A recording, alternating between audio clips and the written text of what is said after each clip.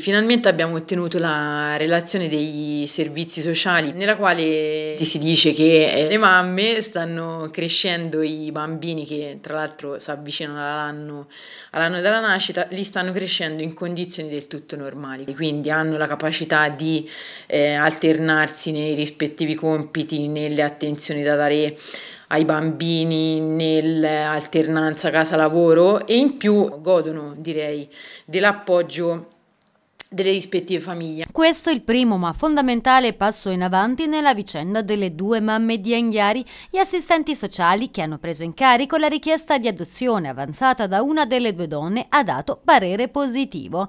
La eh, difficoltà, ma devo dire c'è stata una maturità di, di, discreta, insomma, eh, è quella di dire, bene, eh, devo passare da questa porta necessariamente, eh, butterò giù anche l'esame che mi fanno come, come mamma, ancorché insomma io sia mamma da, da sempre. Ecco.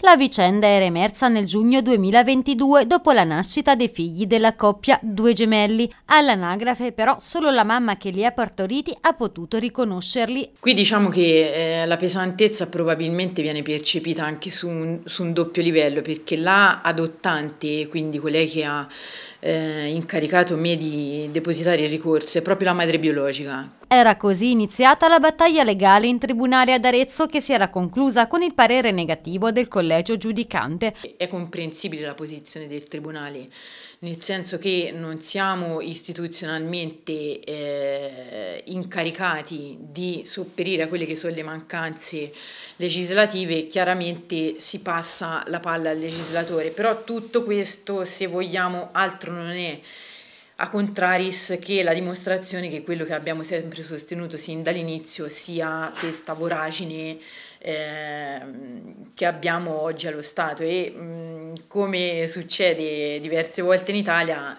eh, occorre aggirare l'ostacolo.